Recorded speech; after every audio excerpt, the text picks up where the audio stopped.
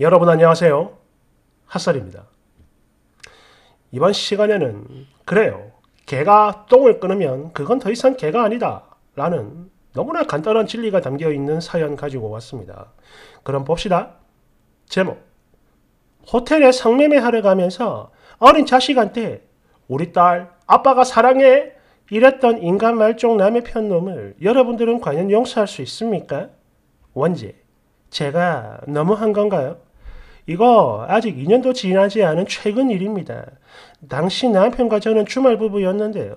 하루는 평일 퇴근하고 남편이 오랜만에 찾아온 멀리서 온 자기 고향 친구를 만난다 했고 밖으로 나가기 전 샤워를 하면서 저랑 같이 있던 저희 딸과 통화를 했어요. 당시 우리 아이 다섯 살이었습니다. 제가 듣고 있는 자리에서 스피커폰으로 통화를 했고 아빠 사랑해 힘내요 다녀오세요 등등등 서로 막 보고 싶다며 애틋한 대화를 한 2분 정도 한 뒤에 전화를 끊었어요. 그리고 호텔로 여자를 불러 성매매를 하러 간 거죠. 정말 우연히 이 증거가 제 손에 들어왔는데요. 바로 스샷 찍어 남편한테 보내고 전화를 걸었습니다.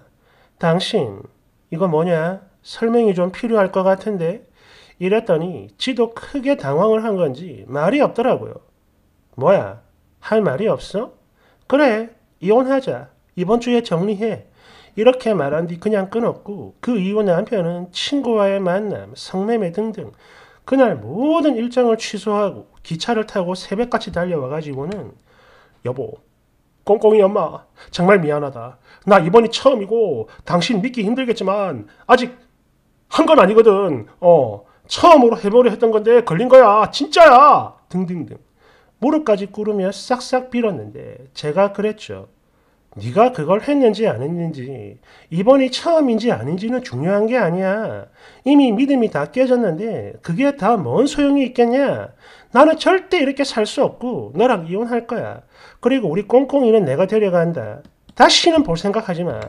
너처럼 가정스럽고 더러운 새끼가 내 딸을 눈으로 보고 손으로 만지는 거 나 절대 못 견뎌.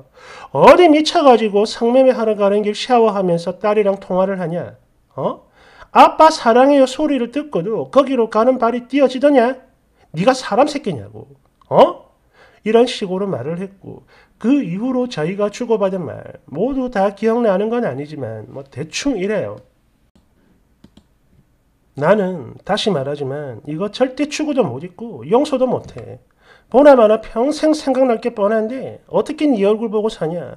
그게 사람 사는 거냐? 지옥이지. 그러니까 그냥 여기서 갈라서자. 그럼 평생 생각날 때마다 나를 저주하고 욕해도 돼. 내가 그거 다 들어줄게. 대신 한 번만 기회를 줘. 어? 아니, 나는 이제 너랑 그 어떤 것도 하고 싶지 않아. 아무것도 하기 싫다고. 그냥 좋게 말할 때 도장이나 찍어라. 여보, 꽁꽁이 엄마, 내가 밥이랑 빨래 청소 맨날 와가지고 내가 다 할게. 어? 당신은 그냥 나한테 기회 한 번만 주면 되는 거야. 제발 부탁이야. 그동안 너 때문에 억지로 참았던 시댁인데 이제 더 이상 참을 이유가 없어졌어. 아니, 볼 이유도 없지. 헛소리 하지 말고 도장이나 찍어라.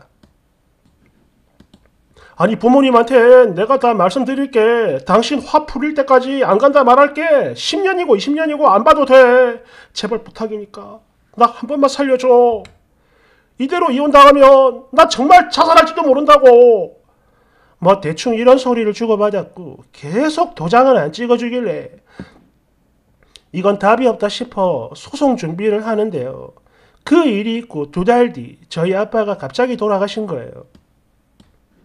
물론 원래도 당신한테 큰 병이 있긴 했지만 그래도 이 정도는 아니었는데 갑자기 그렇게 가시더라고요. 가뜩이나 이 미친 인간 때문에 딱 죽고 싶었는데 아빠까지 돌아가시니까 정말 주체가 안 되는 거예요. 말 그대로 사람이 딱 무너지는 그런 걸 느꼈는데 이때 이 인간이 제 옆에서 최선을 다해 위로하고 돌봐줬고 뭐 진심이든 가식이든 어쨌든 그렇게 했어요. 결국 여기서 저도 마음이 변해가지고 그냥 그렇게 넘어간 겁니다. 그리고 지금까지 2년이죠. 그냥 저냥 나름 잘 지내요. 다만 저한테 어떤 변화가 하나 생기더라고요. 이 사람이 친구를 만나러 간다거나 퇴근하는 게 좀 늦어지면 혹시 또 이런 의심이 자꾸 생겨요. 얼마 전 자기 친구랑 1박 2일 롤러를 간다길래 그래서 그 친구는 건전해? 이렇게 물었다가 그날 엄청나게 싸웠고요. 아니 평소에도 의심이 생겨 물을 때마다 싸움이 나요. 그리고 그 패턴은 늘 아래와 같습니다. 아니 그거 서로에게 상처가 되는 일인데 그런 얘기를 왜 하는 거야? 도대체 이게 몇 번째냐고 사람 놀리는 것도 아니고 그만 좀 해. 그 자꾸 약점 잡아가지고 이야기하면 너는 기분 좋겠냐? 왜 그런 생각을 하는 거야? 생각이 나도 말을 하지 마. 이미 지나간 일이면 어 묻어두고 잘 살아갈 생각을 해야지. 너는 지치지도 않냐? 아니 그래서 언제까지 이럴 건데? 어? 나 죽일까요? 지금 무슨 소리 하는 거야? 생각날 때마다 말하는 거 아니야. 나도 많이 참고 참다가 겨우겨우 말하는 거라고. 그리고 그게 아니면 그냥 아니다 이렇게 말해주면 되는 건데 왜 이렇게 발끈하고 네가 화를 내? 그러니까 내가 그런 말 하지 말라고 했잖아. 나도 참고 참다가 한 번씩 물어보는 거라고. 아니, 말을 하지 말라는데 왜 자꾸 하냐고. 어? 아니, 나는 그렇게 참으라면서 너는 왜 그렇게 화를 내? 너는 왜 안 참아? 그럴 거면 너도 똑같이 참아야 되는 거 아니냐고. 야, 아, 내가 그 얘기 좀 하지 말라고 했잖아. 안 하면 되는 거 아니야.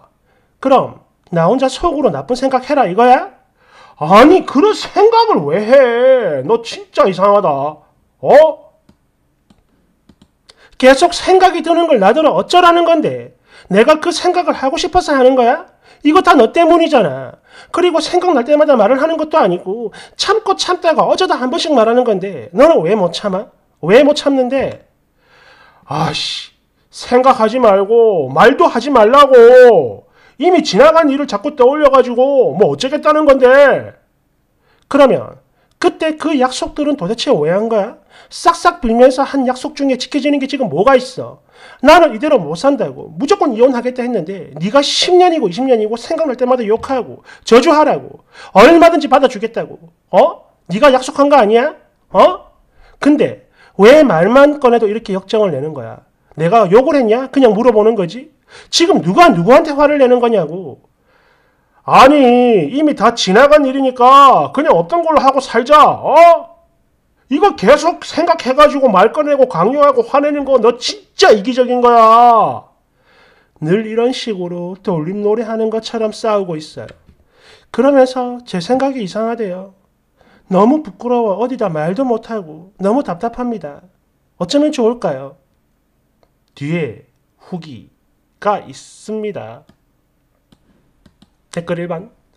이러니까 감당하지 못할 용서는 하면 안 되는 거예요. 피해자는 몇 년만 지나도 아니 피해자는 몇 년, 몇십 년이 지나도 상처가 아물지 않는데 상처를 준 가해자는 어느 정도 시간이 지나면 이제 그만해. 그만할 때 됐잖아. 왜 이래?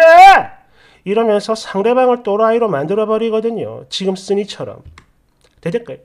이러니까 성매매는 절대 용서하지 말고 끝내라는 건데 그래도 내 남편은 좀 다를 거야. 진짜 반성했을 거야. 그런 설마 설마가 사람 잡는 거죠. 본인은 남들이랑 다를 거라고 착각했을 거야, 써니도. 음. 2번. 이걸 보니까 개가 똥을 끊지라는 말이 생각납니다. 몇 년을 쥐 죽은 듯 엎드려 있어도 모자랄 판에 1박 2일 여행을 가겠다고. 아이고 말이야. 3번. 일단 남자가 제일 쓰레기고 나쁘지만 이걸 그냥 넘어간 써니도 잘못이 커요. 다 필요 없습니다. 이건 그냥 이혼이 답이죠. 서로가 절대 변하지 않을 거야. 평생. 4번. 아니 다 떠나서 결혼까지 한 유부남이 친구랑 1박 2일 여행을 가겠다고? 아니 대체 왜 계속 결혼 생활을 이어가는 거죠? 혼자 살아갈 능력이 안 되는 겁니까 혹시? 5번.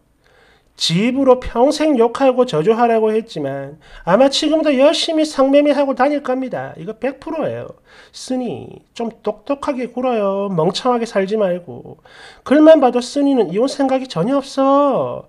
아니 어린 딸이랑 통화하고 상매매하러 가는 놈이 평생 공주님 모시다 살 줄 알았습니까? 지금이라도 조용히 증거 모아서 이혼 준비나 하세요. 나중에 애 핑계 대지 말고 사회생활 하면서 힘들게 돈 벌어 가는 것보다 성매매나 하는 벌레랑 사는 게 더 편하니까 이 거지 같은 삶을 선택한 주제에 억울한 척 하면 안 되죠.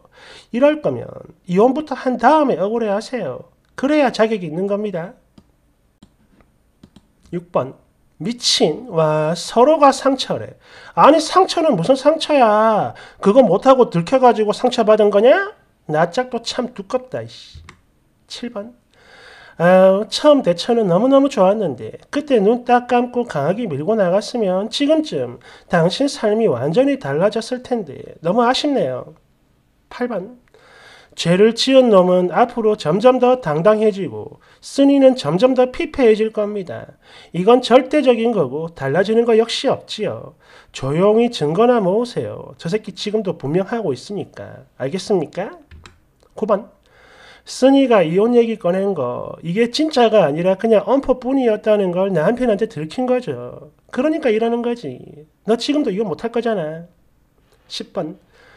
야 장인 죽었을 때 속으로 쾌재를 불렀겠구만. 위로해주면서 대충 어물쩍 넘어갈 수 있으니까 찬스지 뭐. 님도 그래. 말이 이혼이지 쉽지 않으니까 이혼 못한 거죠. 그리고 그 결과 지금의 이 의심병은 당연한 거고 방귀 낀 놈이 썩낸다고 남편이 저러는 것도 당연한 거야. 어? 11번. 나도 여자예요. 다른 죄는 몰라도 성과 관련된 문제는 인간 취급도 안 하는데 이런 걸 용서하고 사는 여자들 보이더라고. 참 대단한 것 같아. 남미 새의 원조랄까요? 음, 12번. 네 남편이 저렇게 발작하는 이유는 오직 하나입니다. 그게 처음이 아니었던 거고 지금도 계속하고 있으며 앞으로도 마찬가지 더욱 치밀하고 은밀하게 계속 절대 들키지 않을 자신이 있다는 겁니다. 알겠나요? 13번 나 같으면 아버지 빈손은커녕 얼씬도 못하게 하고 바로 내다 버렸을 것 같은데 뭐 위로를 받았다고 아니 그 더러운 짓 하러 갈 때 생때 같은 손녀딸이랑 통화한 짐승을 사이랍시고 절 받고 싶으셨겠어요? 네 아버지가? 후기 다들 시간 내주셔서 정말 감사했습니다. 이러고 지워버렸어요. 음. 하, 이게 무슨 의미일까요? 어, 역시 앞에 댓글들이 말한 이혼 못하고 사는 그런 걸까요? 왠지 그런 것 같은데 음. 그렇다면 어, 그 이유가 뭘까요? 뭐 아버지 돌아가시고 친정이 너무 가난해서 거기다 쓰니가 뭐 일을 안 하고 있어가지고 혼자 애 키우고 자, 살아갈 자신이 없는 건지 어, 이래서 만약 그런 거라면 이러니까 사람은 능력이 있거나 뒷배가 있어야 돼요. 어, 봐, 피해자만 피똥 싸는 거야. 아무튼 뭐 걸치우고 도망가 버린 바람에 뭐 뒤가 어떻게 됐는지 알 수는 없습니다. 어. 그래도 어쩌겠어. 힘내요. 감사합니다.